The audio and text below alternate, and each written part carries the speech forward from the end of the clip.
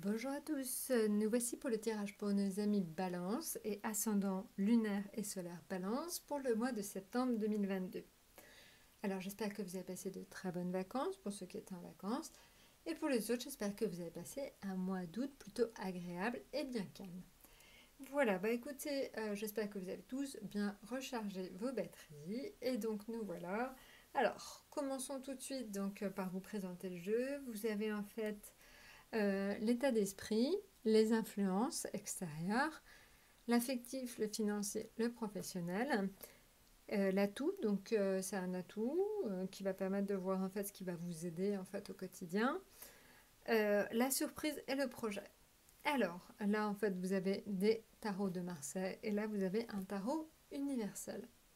Alors si on commence justement par l'état d'esprit dans lequel vous serez, alors, au niveau, euh, donc, euh, pour les balances et ascendant balance, vous serez en amoureux. En amoureux avec donc euh, la tempérance en atout, en fait, en, on va dire en influence extérieure. Alors, honnêtement, l'amoureux, c'est vraiment le symbole. alors, pour certains, ça peut être la rencontre amoureuse en tant que telle. Donc, je pense que pour certains qui sont célibataires, on peut imaginer quand même une rencontre euh, ce mois-ci. Donc euh, là déjà ça se dessine bien, d'autant plus que la tempérance indique que euh, donc ça peut se faire dans des conditions extrêmement agréables. La tempérance c'est vraiment le symbole de l'équilibre, de la médiation, de tout ce qui se passe bien. Donc voilà, donc première symbolique de l'amoureux, ça pourrait être donc le symbole d'une rencontre. Maintenant, euh, l'amoureux, c'est aussi euh, le symbole de euh, la rentrée et quelque part des choix à faire pour la rentrée. Donc voilà, je pense que certains d'entre vous vont devoir un petit peu commencer à mettre des choses en place pour l'année. Hein. c'est comme une année scolaire, c'est un peu comme en janvier, on repart pour une année.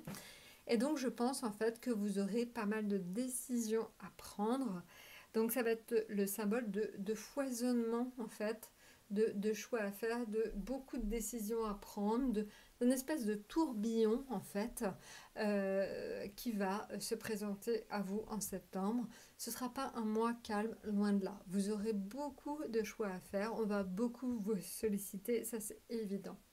Donc ça c'est la deuxième symbolique. Et la troisième symbolique, c'est le fait d'être bien entouré. Donc en fait, vous allez vous sentir bien entouré euh, et surtout à l'aise dans ce que vous faites. Donc voilà, donc ça, soutenu, aidé, porté. Et ça, c'est surtout dans le domaine euh, professionnel que vous le sentirez. Voilà, alors maintenant, on va euh, donc regarder ce qui va vous passer. Donc au niveau affectif, au niveau financier et au niveau professionnel. Alors, au niveau affectif, vous allez avoir besoin de liberté. Donc, euh, je pense que pour ceux qui sont euh, notamment donc, euh, dans l'idée de rencontre, il va pas falloir en fait qu'on vous embête trop ou qu'on vous impose trop de choses. Vous avez encore besoin d'un certain confort et surtout lié en fait au fait d'être assez indépendant. Donc, je pense que voilà, vous aurez un besoin de liberté forte, une envie en fait de suivre votre voie et pas celle qu'on vous imposera. Donc là, je pense que pour certains, ça peut être aussi euh, l'envie, par exemple, dans un couple, d'être un petit peu plus indépendant. Et à passer un petit peu le temps de la fusion. Et pour, euh, voilà, quand vous êtes un couple un petit peu plus installé, vous avez envie de faire des choses par vous-même. Voilà, tout simplement. Donc, euh, des envies de liberté, d'envie de faire des choses par soi-même, des envies, en fait, pas qu'on vous impose trop de choses. Je pense que c'est ça. Voilà, mais pour autant, encore une fois, j'insiste, ça peut être aussi des rencontres. Maintenant, ce qui concerne le, les finances, alors les finances liées au monde, c'est plutôt des finances euh, positives, assez saines, euh, pas trop de tracas. Euh, ça devrait être plutôt, plutôt cool, donc ce mois-ci. Maintenant, en ce qui concerne le domaine professionnel pour les balances, on est sur une recherche d'équilibre. Donc voilà, je pense qu'on l'a vu sur un foisonnement très important d'idées, de renouveau, de choses qui arrivent, de choix à faire. Là, en fait, il va falloir que vous fassiez les bons choix.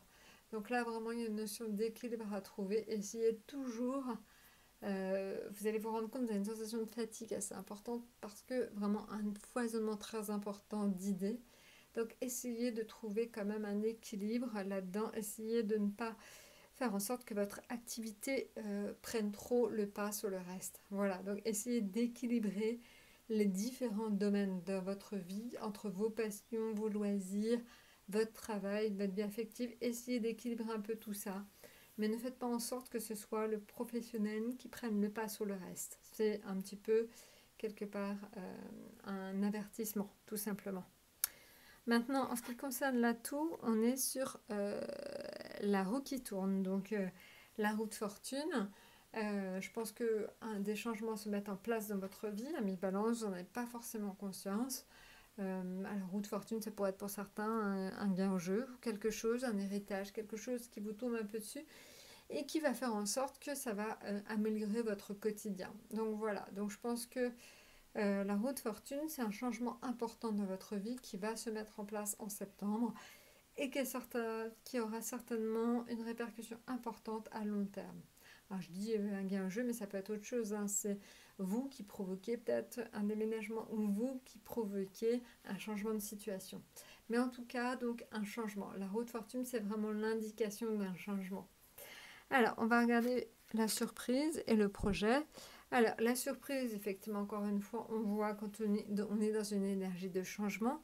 Le battleur, on repart tout, on repart de zéro. Euh, pas de zéro parce que le battleur, c'est le 1. Mais on repart sur un nouveau projet avec énormément d'énergie, d'envie, d'enthousiasme. Donc ça, c'est très fort. Donc voilà, donc vous voyez la roue de la fortune, le battleur, on va vers de nouveaux projets et vraiment une dynamique extrêmement positive. Alors, le projet, le projet, c'est juste que justement pour rentrer en fait dans cette dynamique positive, il va falloir que vous preniez un tout petit temps euh, d'introspection, de réflexion. Euh, l'ermite, c'est vraiment là, attention, ok, je vais rentrer dans quelque chose d'extrêmement positif, on l'a vu, d'extrêmement dynamique.